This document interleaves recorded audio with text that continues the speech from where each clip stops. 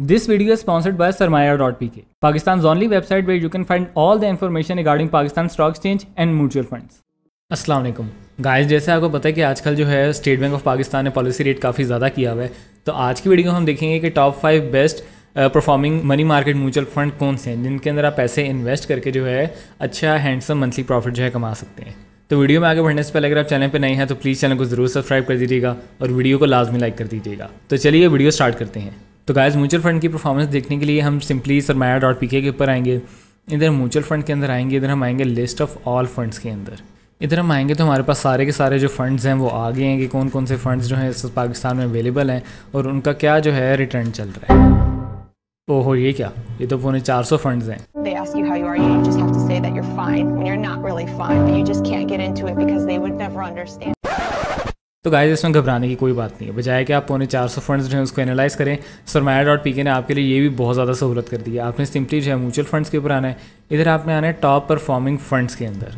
यहाँ जब आप आएँगे, आपने सिंपली जो है कैटेगरी सेलेक्ट करनी है, हम लोग देख रहे हैं मनी मार्केट फ़ंड तो इधर से हम लोग कैटेगरी सेलेक्ट कर लेंगे मनी मार्केट फ़ंड याद रहे, एक मनी मार्केट फ़ंड है और एक शरिया कंप्लाइंट मनी मार्केट फ़ंड है। पहले हम मनी मार्केट देखेंगे, उसके बाद जो हम शरिया कंप्लाइंट देखेंगे, क्योंकि कुछ लोग होते हैं, वो कहते हैं कि हमें सिर्फ़ शरिया कंप्लाइंट मनी मार्केट के अंदर ही इन्वेस्ट करना है। तो वो उनके लिए, और कुछ लोग होते हैं जिनको इससे कोई खास फ़र्क नहीं पड़ता।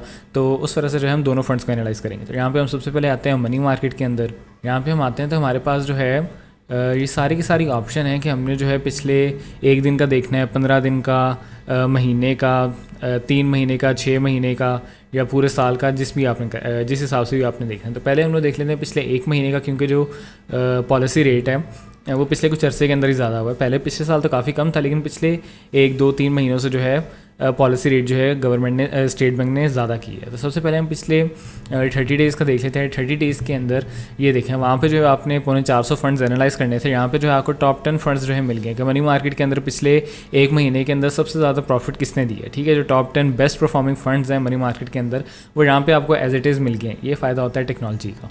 ठीक है? तो इधर अगर हम लोग आके देख लेते हैं तो पिछले एक महीने के अंदर सबसे ज़्यादा जो प्रॉफिट दिया है वो लेक्सन मनी मार्केट फंड ने दिया है। ऑलमोस्ट ट्वेंटी वन परसेंट यानी कि जितना पॉलिसी रेट है, तकरीबन उतना उतना ही जो है उसने प्रॉफिट दिया जो सबसे कम दी है वो सबसे कम प्रॉफिट दिया वो है ए कैश फंड ने। जिसने जो है twenty point thirty six percent का प्रॉफिट दिया है। ठीक है, अब ये हो गया ये टॉप टेन फंड्स हैं जिन्होंने पिछले एक महीने के अंदर, पिछले थर्टी डेज़ के अंदर जो है अच्छा परफॉर्म किया। अब हम देख लेते हैं कि पिछले नाइन्टी डेज़ यानी कि पिछले तीन महीने में किन फंड्स ने जो है अच्छा परफॉर्म किए। तो गाय, ये वो वाले फंड हैं जिन्होंने पिछले तीन महीने के अंदर अच्छा परफॉर्म किया। आप देखेंगे इन्होंने इनमें जो सबसे ज़्यादा दिया है वो इलेक्शन मनी मार्केट फंड ने दिया nineteen point seventy two percent का। अब शायद आपके जहन में आ रहा हो कि इसने जो है पिछले तीन महीने के अंदर nineteen point seventy two percent दिया, लेकिन पिछले एक महीने के अंदर जो है ऑलमोस्ट ट्वेंटी परसेंट जो है वो दिया। दोनों जगहों पर है वैसे यही टॉप के ऊपर। इलेक्शन मनी मार्केट फंड ही टॉप के ऊपर है। पिछले थर्टी डेज़ के अंदर भी with almost twenty profit rate और पिछले नाइन्टी डेज़ के अंदर भी इलेक्शन मनी मार्केट फंड ही टॉप पे है with almost eighteen twenty percent. ठीक है तो ये अब आपके जहन के अंदर आ रहा होगा ये जो है वन टू परसेंट का जो है फ़र्क क्यों है? क्योंकि पिछले तीन महीने पहले जो पॉलिसी रेट था वो ओवर था, गवर्नमेंट ने रिसेंटली जो है पॉलिसी रेट बढ़ाया तो उस वजह से पिछले एक महीने की परफॉर्मेंस ज़्यादा है और पिछले तीन महीने की कम है। छः महीने पहले अगर हम चले जाते हैं, तब जो था पॉलिसी रेट उससे भी ज़्यादा कम था। तो अगर हम लोग वन एटी डेज़ के ऊपर चले जाते हैं तो देखें एटीन परसेंट के ऊपर जो है सबसे अच्छा फंड जो परफॉर्म कर रहा है A W T money market fund वो एटीन परसेंट पे क्योंकि छः महीने पहले शरा सूद और थी, तीन महीने पहले और थी, और एक महीने पहले और थी। तो गाइस अगर अब हम लोग इन फंड्स का कंपेरिजन कर लें, यानी कि कौन से ऐसे फंड्स हैं जो पिछले थर्टी डेज़ के अंदर भी मौजूद थे इस लिस्ट के अंदर, और पिछले नाइन्टी डेज़ के अंदर भी मौजूद थे इस लिस्ट के अंदर, और किसने जो है दोनों परफॉर्मेंसेज को कंबाइन करके सबसे अच्छा रिटर्न दिया है तो फ़र्स्ट के ऊपर जो है लेक्सन मनी मार्केट फंड है, जिसने twenty point twenty four percent का रिटर्न दिया है। सेकंड के ऊपर A W T money market fund है, जिसने twenty point twenty one percent का रिटर्न दिया है। उसके पास N B P government securities liquid fund है, जिसने नाइनटीन पॉइंट नाइन परसेंट का रिटर्न दिया है। जे एस कैश फंड है, जिसने nineteen point nine three percent का रिटर्न दिया है। उसके बाद जो है Al Habib money market fund है जिसने 19.89 परसेंट का रिटर्न दिया है और एंड में A B L cash fund है जिसने 19.83 परसेंट का जो है रिटर्न दिया है। तो ये टॉप फाइव ऐसे फंड्स हैं जो पिछले 30 डेज़ की लिस्ट के अंदर भी बेस्ट परफॉर्मिंग फंड्स में मौजूद हैं और पिछले 90 डेज़ की बेस्ट परफॉर्मिंग फंड्स की लिस्ट में भी मौजूद है। और दोनों की परफॉर्मेंसेस को कंबाइन करके किसने सबसे ज़्यादा अच्छा रिटर्न दिया इसके बाद अब हम लोग देख लेते हैं शरिया कंप्लाइंट मनी मार्केट फंड्स तो गाइड शरिया कंप्लाइंट मनी मार्केट फंड में पिछले थर्टी डेज़ के अंदर सबसे ज़्यादा जो रिटर्न दिए वो जी इस्लामिक डेली डिविडेंड फंड ने है जिसने 19.24 परसेंट का रिटर्न दिया है ठीक है, और सबसे कम रिटर्न जो दिया है, फैसल हलाल आमदनी फंड ने 18.56 परसेंट का रिटर्न दिया है इस तरह अगर हम लोग पिछले 90 डेज़ की परफॉर्मेंस को मॉनिटर कर लेते हैं, देख लेते हैं तो यहाँ पर फैसल इस्लामिक कैश फंड है, जिसने 18.10 परसेंट का रिटर्न दिया है, और जो फैसल हलाल आमदनी फंड है, वो फिर सबसे एंड के ऊपर आया सेवनटीन के साथ। जो शरिया कंप्लाइंट मनी मार्केट फंड होते हैं, उनके अंदर जो रिटर्न की परसेंटेज होती है, वो थोड़ी सी कम होती है। जो मनी मार्केट फंड होते हैं, उनके अंदर आपको थोड़ा सा ज़्यादा प्रॉफिट मिलता है और जो शरीर कंप्लाइंट होते हैं, उनके अंदर आपको थोड़ा सा कम प्रॉफिट मिलता है। एक और बात याद रहे कि ये जितना भी प्रॉफिट है, ये बिफोर टैक्स है। अगर आप फाइलर हैं, यानी कि आप अपना टैक्स फ़ाइल करते हैं तो फिर आपका जो है फ़र्ज़ कर लेंगे आपको सौ रुपये के ऊपर तीस वो मिल रहा है सौ रुपये अगर आपको प्रॉफिट मिल रहा है, ठीक है? आपकी इन्वेस्टमेंट के ऊपर। तो अगर तो आप फाइलर हैं आप टैक्स फ़ाइल करते हैं तो सौ रुपये में से पंद्रह रुपये आके कटेंगे और एटी फाइव रुपीज़ आपको प्रॉफिट मिलेगा। और अगर आप टैक्स फाइलर नहीं हैं नॉन फाइलर हैं, यानी कि, और अगर आपको सौ रुपये का प्रॉफिट मिलता है तो फिर आपके तीस रुपये कटेंगे। तो ये जो है फिफ्टीन परसेंट और थर्टी परसेंट का जो है टैक्स रेट है फाइलर और नॉन फाइलर के लिए। तो अब अगर हम लोग ये लिस्ट देख लेते हैं कि कौन से ऐसे फंड्स हैं जो पिछले थर्टी डेज़ की लिस्ट में मौजूद हैं और पिछले नाइन्टी डेज़ की भी लिस्ट में मौजूद हैं। ठीक है, और कि इन्होंने टॉप फाइव कौन से ऐसे फंड है जो दोनों लिस्ट में मौजूद हैं जिसने सबसे अच्छा रिटर्न दिया है। तो नंबर वन के ऊपर J Islamic daily dividend fund है, जिसने 18.61 परसेंट का रिटर्न दिया है। सेकंड पे फैसल इस्लामिक कैश फंड है, जिसने 18.57 परसेंट का रिटर्न दिया है। थर्ड पे अल्फला इस्लामिक रोज़ाना आमदनी फ़ंड है, जिसने 18.54 परसेंट का रिटर्न दिया है। फिर H B L Islamic money market fund है, जिसने 18.53 परसेंट का रिटर्न दिया है। और एंड में Atlas Islamic money market fund है, जिसने 18.35 परसेंट का रिटर्न दिया तो ये पाँच ऐसे फंड्स हैं जो बेस्ट परफॉर्मिंग है शरिया कंप्लाइंट मनी मार्केट कैटेगरी के अंदर।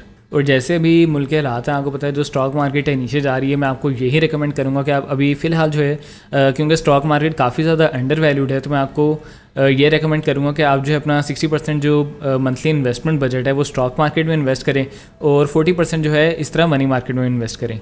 यानी कि अगर आप चाह रहे हैं कि मैंने हर महीने जो है सिर्फ़ दस हज़ार रुपये जो है इन्वेस्टमेंट कर इन्वेस्टमेंट करनी है इन्वेस्ट करने हैं दस हज़ार रुपये तो उस दस हज़ार रुपये के अंदर से छः हज़ार रुपये आप स्टॉक मार्केट के अंदर इन्वेस्ट करें और चार हज़ार रुपये आप मनी मार्केट के अंदर इन्वेस्ट करें। याद रखें कि आपने मेरे मुताबिक ये दस हज़ार तब इन्वेस्ट करने हैं जब, कब आप कम से कम थोड़े से पैसे जो है अपने सेव भी करें। यानी कि टोटल आपका पंद्रह हज़ार रुपये आपके बच रहे हैं महीने के। उस पंद्रह हज़ार के अंदर से आपने पाँच हज़ार रुपये सीधे सीधे बैंक में सेव कर लेने एमरजेंसी के लिए और जो दस हज़ार रुपये बचेंगे उसमें से छः हज़ार रुपये आपने इन्वेस्ट करने हैं स्टॉक मार्केट में और चार हज़ार रुपये इन्वेस्ट करने हैं आपने म्यूचुअल फंड्स के अंदर। यहाँ से आपको काफ़ी अच्छा रिटर्न मिलता है। ठीक है, बेशक आप फिफ्टी फिफ्टी कर लें। दस हज़ार में से पाँच हज़ार इधर मनी मार्केट के अंदर कर लें, पाँच हज़ार जो है वहाँ पे कर लें, लेकिन फिफ्टी फिफ्टी आप तब करें जब आपकी ज़रा थोड़ी एक लाख से ऊपर आपकी इनकम है, क्योंकि जब आप एक लाख से ज़्यादा इन्वेस्ट करते हैं या चार, पाँच लाख इन्वेस्ट करेंगे तो उससे जो है आपको मंथली प्रॉफिट इतना होना शुरू हो जाएगा कि आप जो है वो अपना पैसा प्रॉफिट का, यानी कि जो म्यूचुअल फंड का मंथली प्रॉफिट है, इसको निकाल के आप स्टॉक मार्केट में इन्वेस्ट कर सकेंगे। तो अगर तो आपका बजट कम है, एक लाख से कम है, फिर तो आप सिक्सटी परसेंट स्टॉक मार्केट में इन्वेस्ट करें और फोर्टी परसेंट जो है इस तरह म्यूचुअल फंड के अंदर इन्वेस्ट करें लेकिन अगर आपका बजट एक लाख से ज़्यादा है तो फिर आप इसको फिफ्टी फिफ्टी कर सकते हैं। यानी कि पचास फ़ीसद जो है आप स्टॉक मार्केट में इन्वेस्ट करें और पचास फ़ीसद जो है इधर म्यूचुअल फंड के अंदर इन्वेस्ट करें। और यहाँ से जो आपको एक आका प्रॉफिट आ रहा होगा गारंटीड मंथली प्रॉफिट आ रहा होगा, वो भी आप चाहें तो आप उठा के इधर मनी मार्केट से उसका प्रॉफिट उठा के आप स्टॉक मार्केट में इन्वेस्ट करते रहें। क्योंकि इस वक्त जो है स्टॉक मार्केट में इन्वेस्ट करने का काफ़ी सुनहरी मौका है, बहुत गोल्डन अपॉर्चुनिटी क्योंकि इस वक्त जो स्टॉक मार्केट है वो काफ़ी नीचे आई हुई है। इस दो से तीन की पी रेशो के ऊपर ट्रेड कर रही है, यानी कि काफ़ी सस्ती मार्केट हुई है। तकरीबन सारे शेयर्स ही अंडर वैल्यूड मिल रहे हैं, बहुत अच्छी कीमत के ऊपर मिल रहे हैं। तो इस टाइम अगर आप शेयर्स जो हैं बाय कर लेते हैं स्टॉक मार्केट में लॉन्ग टर्म के लिए एंट्री ले लेते हैं, दस साल से ज़्यादा अरसे के लिए तो अभी जो है बहुत गोल्डन अपॉर्चुनिटी अभी आप स्टॉक मार्केट में एंट्री लेते हैं तो इन दस साल के बाद आपको बहुत हैंडसम प्रॉफिट होना शुरू हो जाएगा। तो गाइज़ आज की वीडियो आपको कैसी लगी? ये मुझे कमेंट सेक्शन में लाजमी बताइएगा। जब तक आप मुझे कमेंट सेक्शन में आके वीडियोस के फीडबैक नहीं देंगे कि आपको कैसी लग रही है तो मुझे नहीं पता चलेगा कि मैंने किस टॉपिक के ऊपर वीडियो बनानी है, कैसी वीडियो बनानी है। तो मैं जितने भी वीडियोज़ अपलोड करता हूँ, मेरी आपसे हम्बल रिक्वेस्ट है कि प्लीज़ उस पर लाजमी कमेंट किया करें। यानी कि अगर किसी इंप्रूवमेंट की ज़रूरत होती है तो वो किया करें। अगर मैं भी इंसान हूँ, गलती मुझसे भी होती है। अगर वीडियो के अंदर कोई मिस इन्फॉर्मेशन चली जाती है मुझसे तो वो भी मुझे बताया करें। मैं उसको करेक्ट करके जो है पिन कमेंट के अंदर बता दिया करूँगा या पोस्ट लगा दिया करूँगा कि ये इन्फॉर्मेशन मुझसे वीडियो में गलत होगी थी असल में ये इन्फॉर्मेशन है। तो क्रिटिसाइज़ किया करें कंस्ट्रक्टिव क्रिटिसिज्म किया करें, यानी कि आपकी वीडियो के अंदर ये नहीं ऐसे होना चाहिए, लेकिन कमेंट कमेंट में लाजमी बताया करें वीडियो पसंद आ रही है, नहीं पसंद आ रही है नेक्स्ट आप किस टॉपिक पे वीडियो देखना चाहते हैं। तो ओवरऑल कुछ ना कुछ मेरी वीडियोस के ऊपर कमेंट लाजमी कर दिया करें। और अगर आपने अभी तक वीडियो लाइक नहीं की तो प्लीज़ वीडियो को लाजमी लाइक कर दीजिएगा। अगली वीडियो तक के लिए मुझे दीजिए इजाज़त। अल्लाह हाफिज़।